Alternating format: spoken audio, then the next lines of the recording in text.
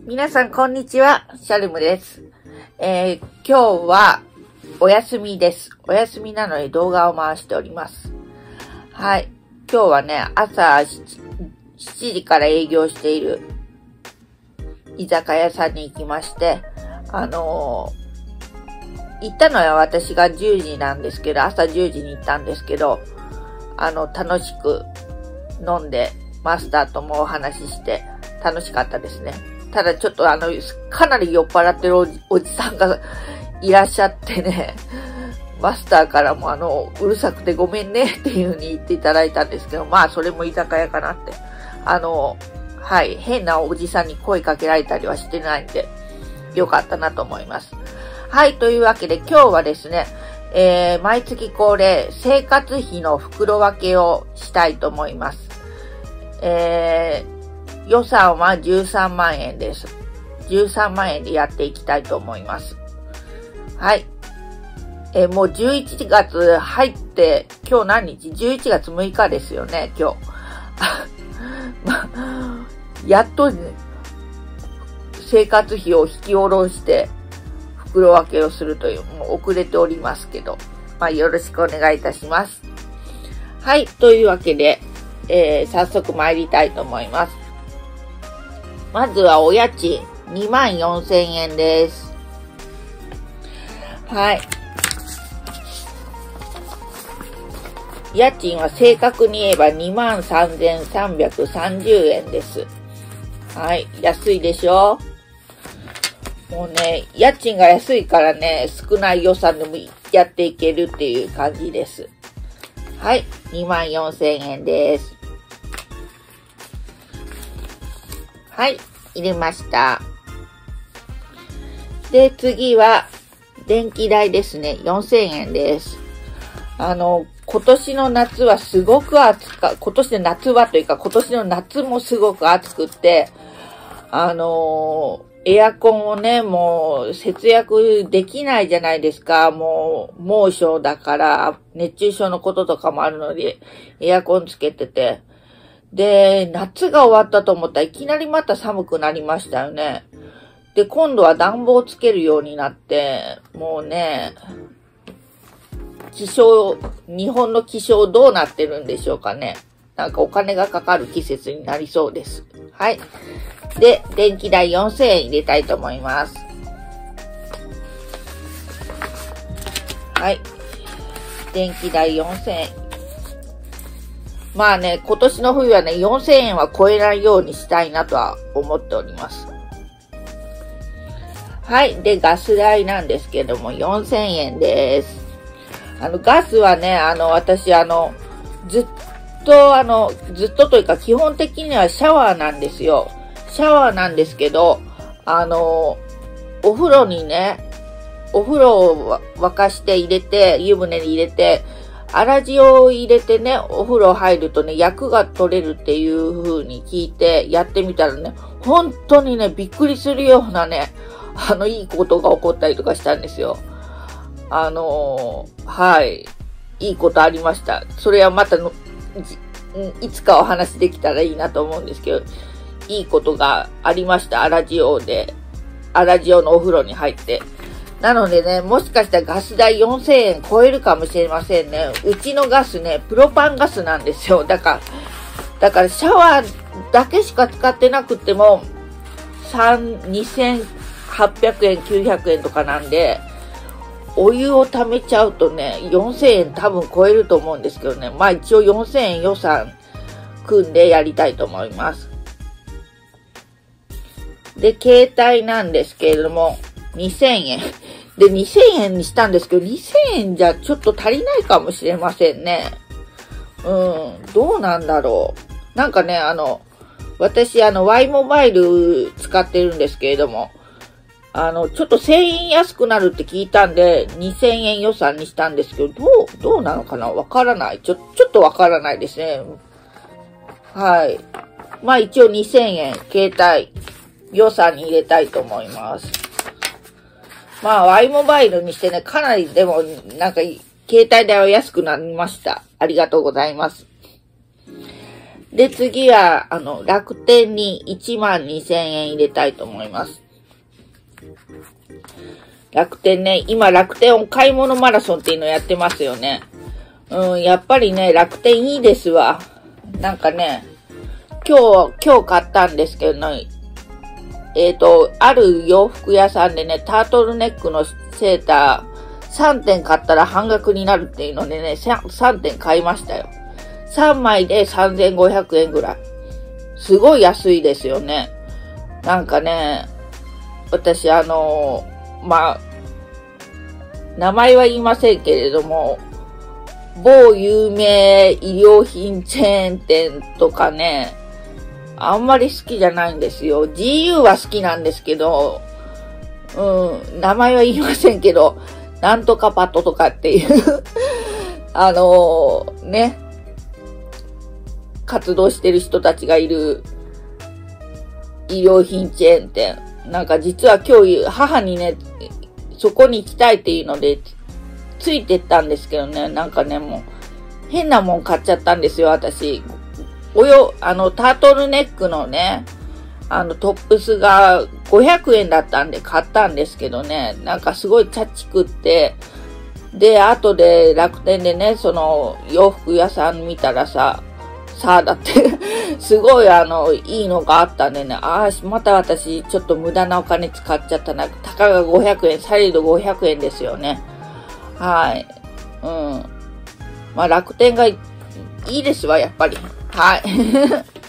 で、楽天でお買い物したりとかするので、1万2000円入れております。はい。12月になった楽天スーパーセールがありますね。ああ、またなんか買うんでしょうね、私。はい。で、えー、っと、貯金なんですけど、貯金は一応3万円です。はい。3万円。はい。はい。で、あとは、はい。毎月恒例、リセットの儀を行いたいと思います。えっ、ー、とね、今月はいくら余ったのかなうわ、小銭がいっぱいいる。どうしよう。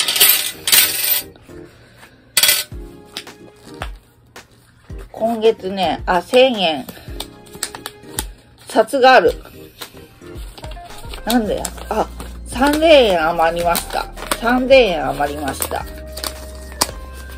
で、小銭が100円、200円、300円と、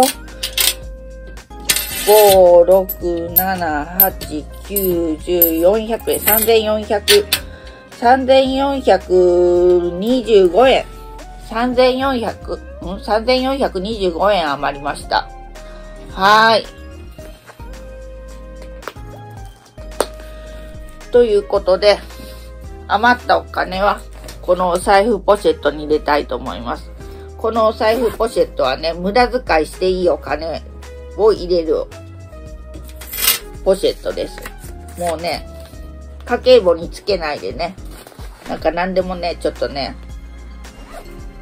ちょこっとしたものを買ったりするのに入れております。はい。あの、時々ね、お財布ポシェットにいくらお金あるんだって聞かれますけどね、ちょこちょこ使ってるんでね、あの、そんなね、ないです、お金。はい。ということで、お財布ポシェット入れました。はい。で、次、あー、揺れた。ごめんなさい。えっ、ー、と、ここにね、えっ、と、食、やりくり費4万円を入れたいと思います。あの、食費とか、日用品とか、うん、そういう生活の細々したものを買うのに、4万円、この財布に入れたいと思います。4万円、4万円。はい、で、お財布ポシェットに4万円やりくり費入れたいと思います。はい。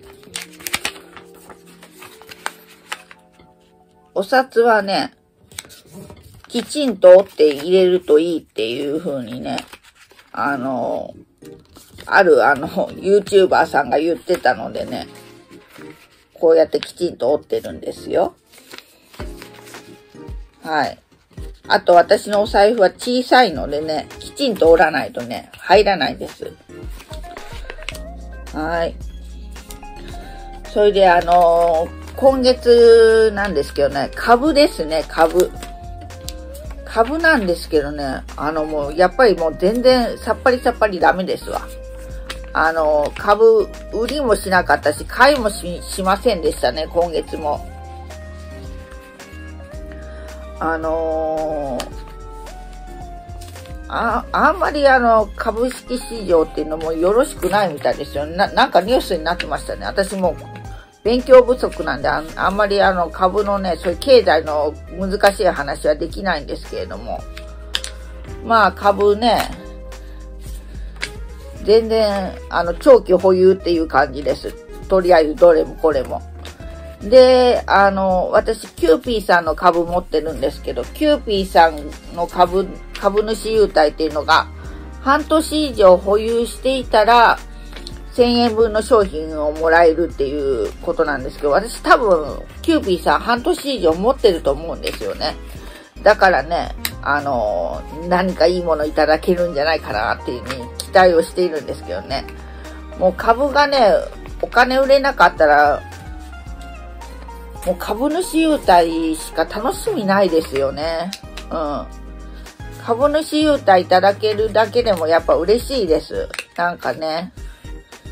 やっぱ銀行にお金預けてね、あの、1000円分の商品を粗品でいただくなんていうのは、ありえませんからね。はい。ティッシュペーパーくれたらいいもんですよね。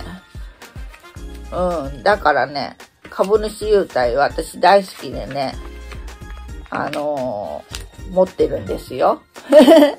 キューピーさん、ライオンさん、えーと、日本製紙さん、かっぱ寿司、えっ、ー、と、ガスト、スカイラークですね。で、あと、どこだ地元の百貨店。あとね、あ、フマキラも持ってるな。うん。もう、以前もぼやいたことがあるんですけどね、もう、ライオンさん、フマキラーさんね、全然、あの、私が買った時より株価が下がっちゃってね、もう、大丈夫かしらっていうふうに思ってるんですけどね。まあね、あの、そうだ。それで、あの、ね、日本製紙さんの株を持ってるんですけどね。あの、日本製紙さんの、あ、日本製紙さんでお勤めのバナナ坊主さんっていう方が私のあの動画の視聴者様にいらっしゃるんですよ。けれども、バナナ坊主さんが日本製紙さんのお勤めということでね、あのー、なんでもあのー、日本製紙さんね、ティッシュペーパーやトイレットペーパーな不況じゃない、不況関係ないんじゃないかなって思ってたんですけれども、なんかやっぱり日本製紙さんも不況にちょっと関係あるみたいですね。なんか不況であの、ちょっと会社が大変だみたいなことをバナナ坊主さんがおっしゃっていたんですよね。コメントくださったんです。ありがとうございます。バナナ坊主さん。ねあの、まあね、日本製紙さんもあのトイレットペーパーだけ売ってるわけじゃないでしょうからね、ありとあらゆる紙製品をあの扱ってらっしゃると思うんで、まあやっぱり日本製紙さんも不況があるみたいです。日本製紙さんえっ、ー、と、配当金がなくなるんですよね。確か次回から。うん。で、ご迷惑をおかけしてすみませんっていうふうに、バナナ坊主さんおっしゃってくれたんですけども、いいんですよ。いいんです。頑張りましょう。お互いね。で、バナナ坊主さん、そうそう、奥様もね、私の動画を見てくださってるみたいで、夫婦、ご夫婦で見ていただいてるみたいで、本当にありがとうございます。奥様見てますか？ありがとうございます。はい、じゃあこれ、もうバラバラ折っちゃったけど、お金をしまいたいと思います。4000円。4000円じゃない、4万円。4万円しまいたいと思います。ねえ。まあね、私もお仕事してますけどね。まあ働くっても大変なことですよね。うん。あのね、お風呂の入ったラジオ、アラジオの入ったお風呂に入って、いいことがあったって言いましたけどね。うん。私の嫌いな人がね、あの休職するかもしれないんです。休職っていうほどじゃないんですけどね、ちょっとあの、仕事を休んでるのでね、あの、嬉しいんですよ。ね。仕事が楽になり、やっぱりね、あの、人間関係の、うん、人の悩みの90%は人間関係らしいですからね。はい。もうね、私もね、毒ガスにやられちゃってね、もう本当すごいきつかったんですけれどね、その毒ガスが今、あの、ちょっとね、お仕事お休みしてるんでね、もう、バザーイバザーイって感じです。もうね、ほんと精神的に楽。もう全然私ね、だから、ここ一週間くらいあの、精神安定剤飲んでないんですよ。飲まなく、もうね、もう毒ガスがいるときはね、もう精神安定剤飲まなきゃもうやれんっていう感じだったんですけどね。あの、今毒ガスが休んでるんで、あの精神安定剤飲まないんですよ。でも、ほんとね、職場の雰囲気もすごいいいですしね。もうね、絶対今度の春人事異動、毒ガス、お願いします。毒ガスをどこか、もう、飛ばしちゃってください。もう、あの、人事の方、よろしくお願いします。はい。そういうね、なんかいいこともありました。人の不幸を笑っちゃいけないんですけどね。あの、もうでもね、もう、嬉しいです。はい。で、4万円入れました。食費、日用品、こまごました生活費、4万円入れました。で、余ったのがね、お小遣いこんなに余ったかなって思うんですけど、1、2、3、4、5、6、7、8、9、10、11、12、13、14、1万4千円。あ、これはね、お小遣いじゃないんだ。そうそうそう。お小遣いっていう形じゃなくって、あのーこれはね、生活費が足りなくなった時に足すお金よ、予備費ですね。予備費に1万4000円です。はい、これは取っておきたいと思います。はい。ということで、えー、生活費13万円を袋分けさせていただきました。けれどね、うん。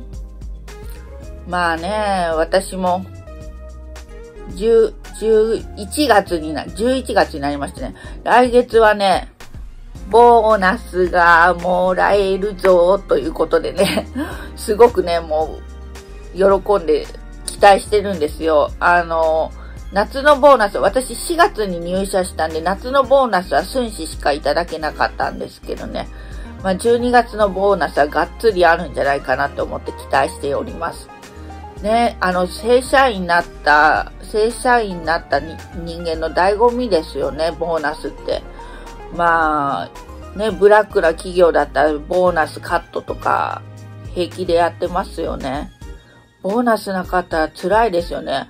アルバイトとか派遣だったらもう最初からボーナスはないっていうふうにあの、ね、覚悟はできてるんですけれども、正社員であの会社がやばいから、ボーナスカットとか言われたら、えーってなりますよね。うん。私もやっぱりね、あの、介護の仕事に就くまではフリーターだったんですね。フリーターだったからボーナスなんかももらえなかったし、あの、まあ、なんて言うんでしょうね。